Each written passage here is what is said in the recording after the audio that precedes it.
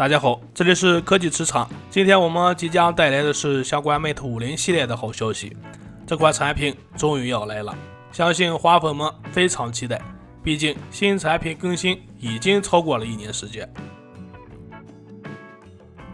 Mate 五零系列即将带来刘海屏设计。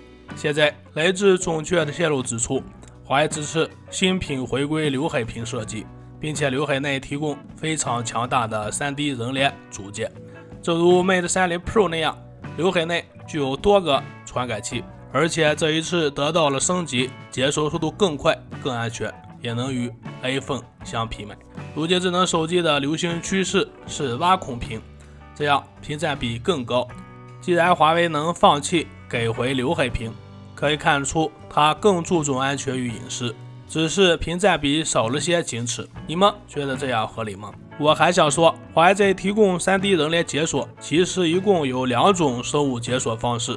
在前两代的 Mate 30 Pro，当初使用的方案就是 3D 人脸加屏下指纹了，二者配合使用非常完美。我想 Mate 50仍然会延续这一好的设计习惯。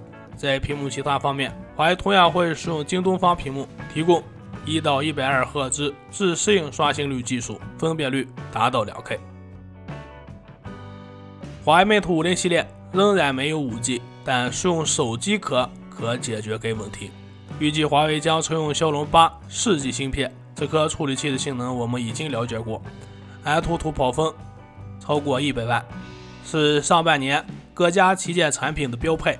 华为一旦使用，仅是缺少了 5G。不过华为已经解决了这个问题，5G 手机壳套上即可连接 5G 网络。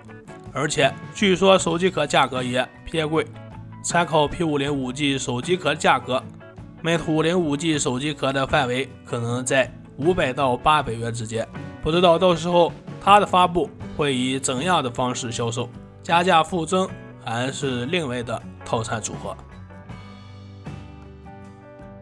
最后，Mate 50系列出厂还将预装全新的鸿蒙3.0系统，该操作系统备受期待。变化很大。现在新的消息透露，鸿蒙操作系统3.0计划于七月二十七日发布，这也可以让我们更提前了解它。除此之外，华为官方还分享了一段视频，展示了新系统的界面和功能。鸿蒙3.0的确采用了全新设计，它消除了上一版本2.0的臃肿部分，提升了设备间的流畅性。得益于新的算法加入。鸿蒙3.0在日常使用中比2.0要更流畅。在之外，它的变化还包括提供更便捷的卡片组合和堆叠体验，支持更多大小的智能文件夹等。同时，交互逻辑和体验也得到了提升，在分布式交互连接更加迅速，同时多设备性能共享也更加稳定。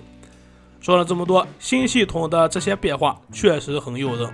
不过现在我们也看不到，只能等日后新机到了慢慢体验。